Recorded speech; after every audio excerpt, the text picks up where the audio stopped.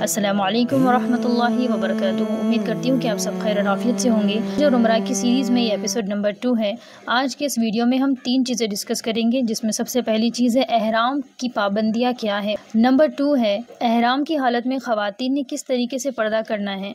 और number three है, Jeddah airport से लेकर मक्का शहर आने तक का हमारा सफ़र सुन्नत के मुताबिक किस तरीके से होना चाहिए, कौन सी दुआएँ हमको पढ़नी है, वो इस वीडियो में हम जानेंगे इन सबसे पहला पॉइंट यहाँ पर यह है कि अहराम की हालत में आप नाखून नहीं काट सकते। बॉडी के कोई भी बाल ना निकालने हैं, ना तोड़ने हैं, आप शेविंग नहीं कर सकते। नाखून कटवाना और अनवांटेड हेयर्स रिमूव करना, ये उम्र की नीयत से पहले आपको ये काम कर लेना है। परफ्यूम और सेंट्स का इस्तेमाल आप नहीं कर सकते। खुशबूदार चीज़ों का इस्तेमाल आप नहीं कर सकते। फ्लर्टियस चैट्स मियाँ बीबी का ताल्लुक आप कायम नहीं कर सकते। खातन एहराम की हालत में अपने चेहरे पर कपड़ा नहीं लगा सकती और मर्द हजरात जो है, ये सिला हुआ कपड़ा नहीं पहन सकते। एहराम की हालत में अपना चेहरा कवर करने के लिए हिजाब कैप आती है। उस कैप का आप इस्तेमाल कर सकते हैं। इन ताला इसके बाद वाले वीडियो में मैं आपको वो कैप बताऊँगी। एहराम की हालत में किस तरीके से पर्दे का अहतमाम करना है इन वो हम इसके बाद वाले वीडियो में डिस्कस करेंगे। एहराम की हालत में मर्दों को अपने सर को कवर नहीं करना है, सर खुला रहेगा और हंटिंग शिकार नहीं करना है। एहराम की हालत में शिकार नहीं करना है, यहाँ तक कि आप एक चीटी या मच्छर को भी नहीं मार सकते।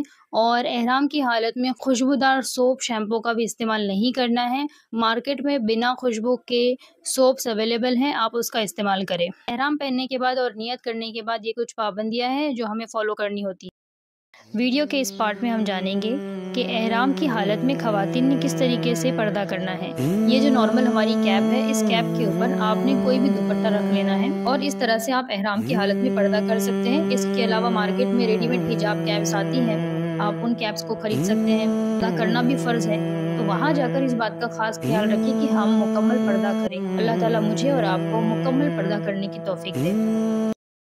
तीसरा पॉइंट हमें यहाँ पर ये डिस्कस करना है, जेद्दा एयरपोर्ट से लेकर मक्का तक का जो सफ़र होगा, ये सुन्नत के मुताबिक कैसे करना है? कौन सी दुआएँ आपको पढ़नी है? तो चलिए दुआओं से शुरू करते हैं। सबसे पहली दुआ है मंजिल पर पहुँचने की। जब आप अपनी मंजिल पर पहुँच जाएँगे, उस वक्त इस दुआ को पढ़ना है रब्बी अंजिलनी मुजलम मुबारकम व अंत खैरुल मुंजिलीन। हम अल्लाह से कह रहे हैं ए मेरे अल्लाह, मुझे मुबारक जगह उतारिए। बेशक आप सबसे बेहतरीन उतारने वाले हैं। जब हम इस दुआ को पढ़ेंगे, उस वक्त हमें ये ख्याल करना है कि जैसे हमने इस सफ़र को तय किया और और अपनी मंजिल पे अल्लाह ने हमें पहुँचाया है बिल्कुल इसी तरीके से जब हम ज़िंदगी का सफ़र भी कंप्लीट करेंगे तो हम अल्लाह से दुआ करेंगे कि अल्लाह हमें बेहतरीन जगह उतारना, यानी जन्नत में हमें उतारना। मक्का के करीब जब हम पहुँचेंगे, बस्ती में दाखिल होंगे, उस वक्त इस दुआ को पढ़ेंगे अल्लाह रज़ुकना जनाह वहबिबना इला अहलिहा वहबिब सालिही वहबिब सालिही अहलिहा इलेना। इस दुआ में हम अल्लाह से कह रहे हैं कि, ए अल्लाह, इस बस्ती के समरात हमें नसीब फरमा और जो नेक लोग हैं, उनकी मोहब्बत हमको नसीब फरमा। इन दुआओं का ख़ास तौर से अहतमाम करना है, क्योंकि हमारे नबी इन दुआओं को पढ़ा करते थे। उसके बाद आपने इस दुआ को पढ़ना है, जब हमारे नबी किसी शहर या बस्ती में दाखिल हुआ करते तो तीन मरतबा इस दुआ को पढ़ते हैं। बारिक लना फ़ीहा, अल्लाहुम्मा बारिक लना फ़ीहा। इसका मतलब क्या होता है कि अल्लाह तो हमारे लिए इसमें बरकत अता फरमा। इन तमाम दुआओं को याद कर लीजिए। अगर याद नहीं कर सकते तो कम से कम इसको अपनी डायरी में लिख के रख लीजिए, ताकि जब आप उस मौके पर पहुँचे तो आप उसको पढ़ सकें। अगर ये भी ना कर सके तो कम से कम इस वीडियो को आप सेव कर लीजिए और सवाब जारिया की नीयत से इसको दूसरों तक पहुँचाने की कोशिश करिए। इस वीडियो के ज़रिए आप मेरी नहीं, दरअसल नबी करीम सल्लल्लाहु अलैहि वसल्लम की बात को आगे पहुँचा रहे हैं, ये जहन में रखें। उसके बाद आपको इस दुआ को पढ़ना है, अल्लाहुम्मा रब्बसमावाति सबई वमा ए अल्लाह, सातों आसमान के रब और उन चीज़ों के जिन पर आसमानों ने साया किया हुआ है। वरबल अरजिनसबी वमा अकलना और सातों ज़मीन के रब और उन चीज़ों के जो ये हवाएँ उड़ाए लिए फिरती हैं। वरब शयातीनी वमा अदलना शयातीन के रब और जिन्हें इन्होंने गुमराह किया हुआ है। वरबर रियाही वमा ज़रीना।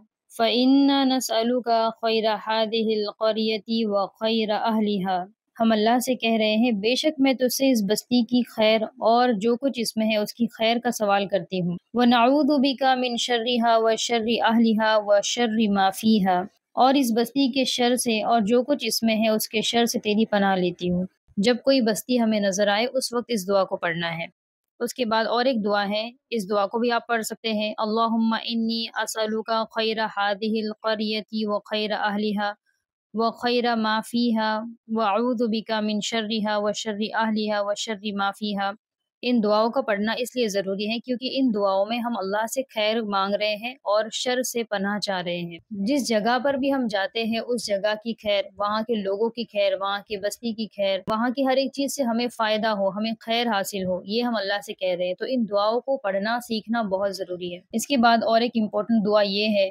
इसके टाइटल से ही आपको समझ आ रहा होगा, दुआ फॉर पायस कंपेनियन अच्छे साथी के लिए हमें इस दुआ को मांगना चाहिए। अल्लाह यसरली जलीसन सालिहा। इस दुआ में उम्मत के लिए एक पैगाम ये है कि हमें अच्छे लोगों के साथ उठना बैठना चाहिए और अल्लाह से अच्छे लोगों का साथ मांगना चाहिए, क्योंकि ज़िंदगी में अच्छे लोगों का साथ मिलना ये इंसान की ज़िंदगी को बदल देता है। इस नीयत से भी इस दुआ को पढ़ सकते हैं, अल्लाहुम्मा यसरली जलीसन सालिहा। ए अल्लाह, मुझे कोई नेक साथी अता फरमा। इन तमाम दुआओं का एहतमाम करना है, उसके बाद हम अपने होटल पहुँचेंगे। होटल पहुंचकर आपने आराम करना है, फ़ौरन उम्र के लिए नहीं जाना है। जब आप बदन में तवानाई महसूस करेंगे, उसके बाद उम्र करें। उम्मीद करती हूँ कि घर से निकलने से लेकर होटल पहुँचने तक की तमाम चीज़ें आपको समझ आ गई होगी।